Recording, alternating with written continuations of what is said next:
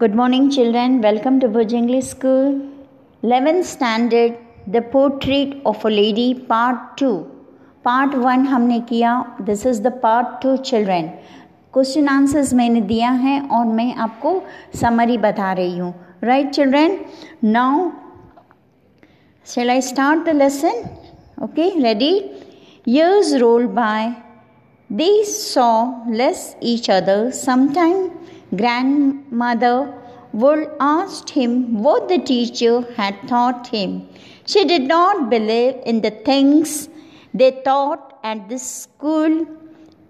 She was unhappy. She did not like English or science. She felt sad that there were no teaching about God. The Kushwan Singh one day told her that they were being given music's lesson. She was disturbed.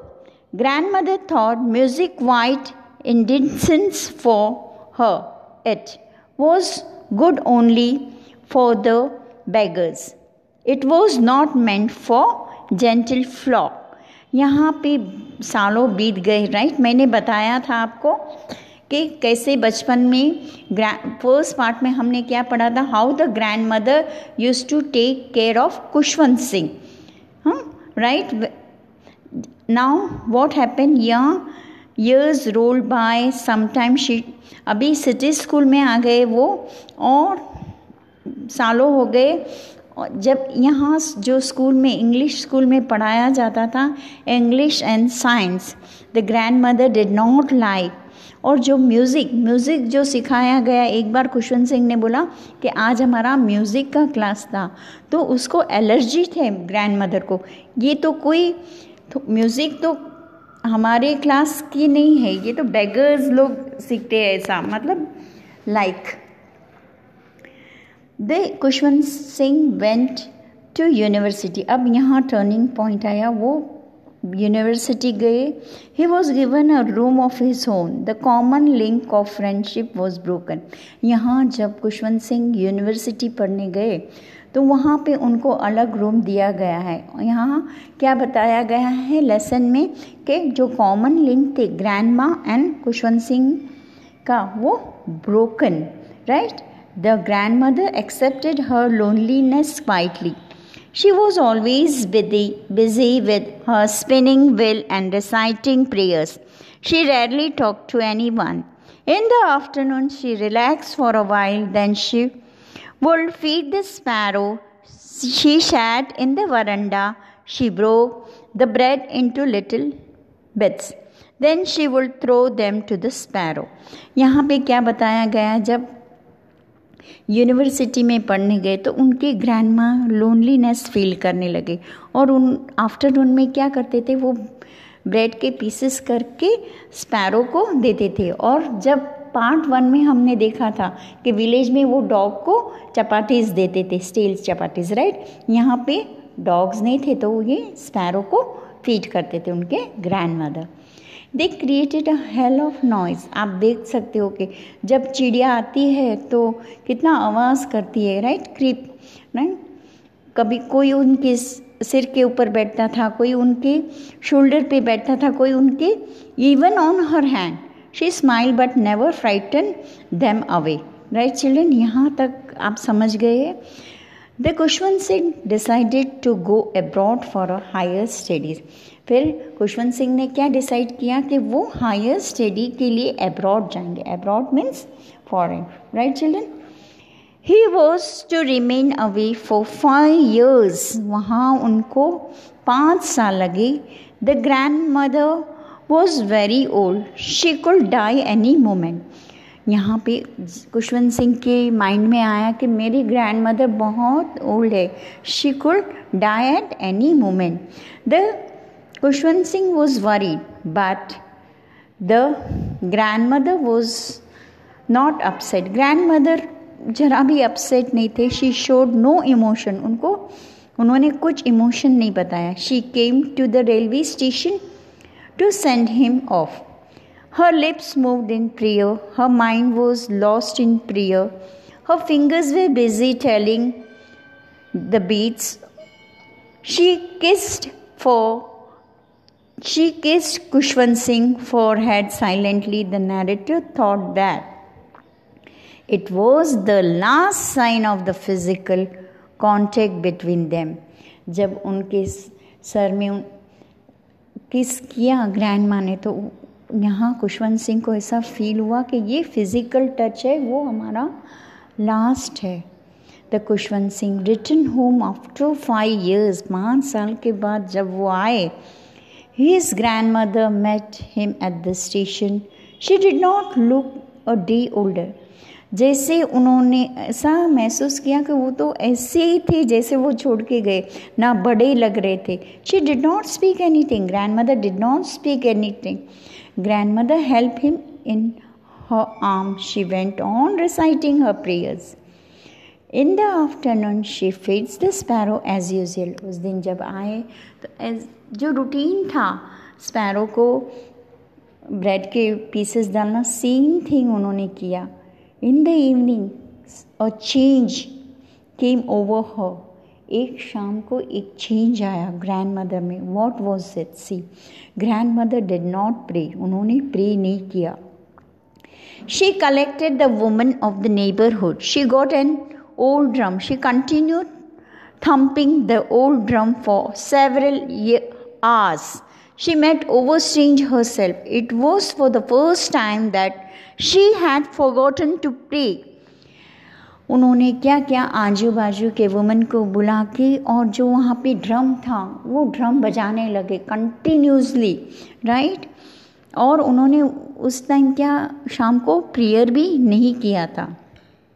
The next morning grand माँ fell ill she had a mild fever she then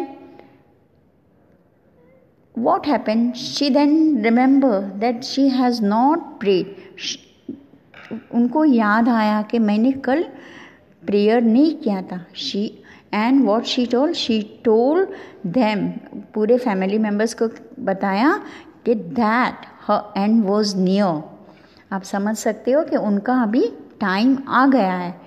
grand mother realise that she had forgotten to pray she did not want to talk it will be waste of time उनको याद आ गया फिर से याद आ रहा था कि उन्होंने प्रे नहीं किया और उनको टाइम भी अभी वेस्ट नहीं किया शी इग्नोर सब जने ने फैमिली मेम्बर्स ने बात की बात करने के लिए बोला उन्होंने she ignore they request she lay peacefully in bed she was praying and telling beads then her lips stop moving suddenly क्या हुआ उनकी लिप्स बंद हो गए her face look pale but peacefully she was dead जैसे जैसे उनका chanting बंद हो गया लिप्स बंद होगा फेस थोड़ा पीला हो गया और शांति से वो ऑफ हो गए डेड हो गए right children she was laid on the ground she was covered with red shawl arrangement for our funeral were being made यानी उनको ले जाने की तैयारी कर रहे थे रेड शॉल उन पर डाली थी the sun was setting they bought a wooden stretcher जो स्ट्रेचर में लेके जाते थे वहाँ और they stop half the way in the courtyard और लेके गए जहाँ कोर्ट यार्ड थे वहाँ वो लोग खड़े रहे thousands of sparrow sat near her dead body. They did not trip up. Everyone felt sorry for the birds. Then the Kushwan Singh mother brought some bread. She broke it into little crumbs. She threw these crumbs to the sparrow. The sparrow took no notice of them. मतलब वहाँ हज़ारों sparrow कोटियाट पर कन्याएं और उन्होंने क्या किया उनके जो खुशवंत सिंह के मदर थे उन्होंने ब्रेड के पीस डाले तो भी उन्होंने नोटिस नहीं किया और क्या कि वो सॉरी फील कर रहे थे कि उनको पता चल गया कि grandmother is no more right the of bread still remain remain there in the the yard आज भी वो जो पीसेस है वहाँ पे है the sparrow had came to उनके यहाँ उनके उनको डेड उनके वो स्पैरो जो आए थे उनके उनके याद में रिस्पेक्ट के लिए आए थे right children mourned the death of the grandma I hope children you have understood this lesson these are the question answers you have to read right let's start the three praises of the author relation with his grandmother before he left to study abroad क्या था बेटा यहाँ three praises कौन सा बताया गया एक childhood boyhood and early youth childhood के बारे में पहले बात करेंगे when he went to village school grand mother help him to get ready and went to the school with him boyhood when he went to city school in a bus he shared a room with grandma but she could not no longer help him right early youth when he went to the university and was given a room of him own Common link of friendship was snapped second question हम देखेंगे three reason why the author grand mother was disturb when author started going to the city school she hated Western science and learning. She was pained to know that there were no teaching of God. She thought it was not meant for the decent people. Then, question 3 The odd way of grandmother behaved before she died. क्या odd way था She had omitted to pray the previous night. She was singing a song and beating drum. She lay peacefully in bed, beds, praying and telling beads. Thank you and have a nice day, children.